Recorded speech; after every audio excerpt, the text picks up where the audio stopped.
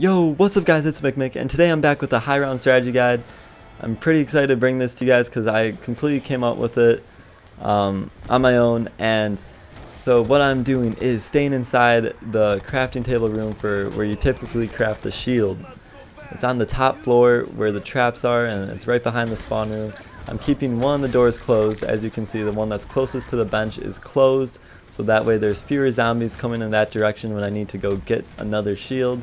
And honestly, I'm going to start off by saying this is most likely an exploit. It'll probably get patched because the, the tortoise perk is way too overpowered uh, in this strategy because if you don't know, if you pull out your shield and you're holding it in your in your hand in front of you, you're actually invulnerable to zombie damage. You can't take a single hit until it breaks. Once the shield actually finally breaks, it's going to send out a concussive blast. This is also part of the same perk. So it sends out a blast that knocks down all the zombies. In the lower round, it'll actually kill the zombies, but in this round, it'll just knock them down. They'll stand back up and start going again.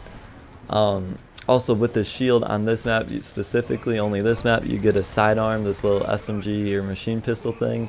And this machine pistol is super overpowered because it can actually kill zombies at this round and it only takes like half a clip or half like I don't know like 15 20 bullets to actually kill a zombie and the dogs also it's great for and so you just keep the shield out the whole time you're running this. You want your shield out. You don't want your winter's howl. The winter's howl is not going to help you at this round. It'll help you like clear things but you don't have enough time to you, first of all you don't have enough ammo to survive using that and you don't have enough time to reload typically. So you just run around with your shield, and as soon as it breaks, you go get a new one. The shield costs 1500 each, 1500 points each time you use it. You buy it, and so you have to make those points somehow. You have your specialist weapon, you have the little submachine gun pistol, and that's you have to make your points between those two. And the specialist weapon I'm using is the Ragnarok because I found I found that it is the safest. I've tried all of them. I've tried all of them actually in this strategy, and the Ragnarok's definitely the safest. It still caused two of my downs this game, so you have to be careful when you use it. A lot of the times I find that it can glitch out when you use it and you dive straight into it like a huge horde of zombies. It sometimes doesn't even like activate. The slam doesn't affect any of the zombies and they'll just slap you and kill you very quickly. So, so yeah, my recommendation is use it when you're in like a safe point in this in this little room. That way you, you prevent any of those weird random glitches that's happening. And insta-kill strat, very fun, very easy. Obviously, you're you're essentially invulnerable because as soon as you run out of ammo in your in your sidearm, you just go buy a new shield. Keep shooting, you're completely invulnerable. Even if you're shooting your gun, the zombies still can't hit you and damage you. Um, and then for the grenade, I am using the, the fire bomb because they they actually can kill zombies at this round still. And so that's huge. Monkey bombs just don't really help that much because the, the extreme dog spawn rate, like like if you go down, you're probably going and you're trying to make a recovery, you'll probably die from the dogs and not the actual zombies. So monkey bombs just aren't really worth it. Uh, and the, the other, my secondary, as you saw, was the Mozu pistol. That's because I spent so many hours playing with it back on like the DEF CON floor. I spent so much time getting headshots and all that stuff with it in order to level it up all the way and get the final operator mod that you unlock when it's maxed out. And the operator mod makes it so it's one shot to the head no matter what round you're on.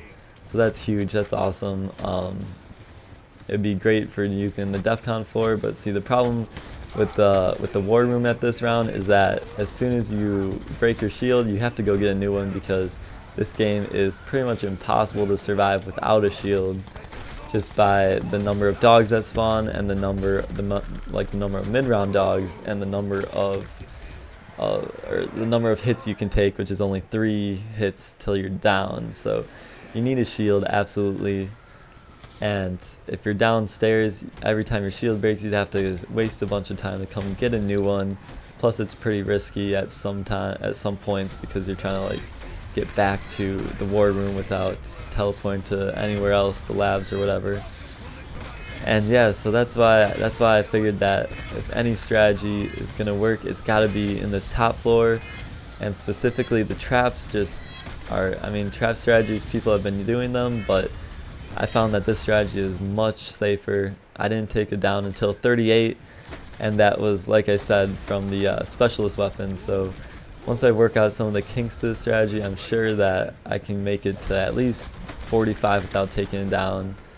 And uh, once you hit once you hit 40 it does get a, a, much more difficult because when your shield breaks it doesn't kill the zombies anymore. It just knocks them down. They stand right back up and if you're if you're not able to get out of there with the winter's howl in time to get a new shield you'll you'll probably die just like that nice and easy. Um, there's not much you can do in those situations. But yeah the insta kill strat as you can see it's a lot of fun. Just keep reviving the ammo. And for perks, I would use the exact same ones I'm using because I've tried multiple different combinations. Uh, the first three, you absolutely need Quick Revive, Stamina, Tortoise. Those are critical. Quick Revive is completely changed in Black Ops 4 because it increases your health regeneration speed along with how soon you're able to regenerate. So that's a complete crutch perk now. That's essentially the new Juggernog, I think. And the fourth one is to increase the the rate at which I get the specialist weapon. So that's also really helpful. And here's just the way I took one of my downs. It's complete trash. Treyarch, you gotta fix this. But yeah, that's pretty much it, guys. Hope you guys enjoyed, and I'll see you in the next video.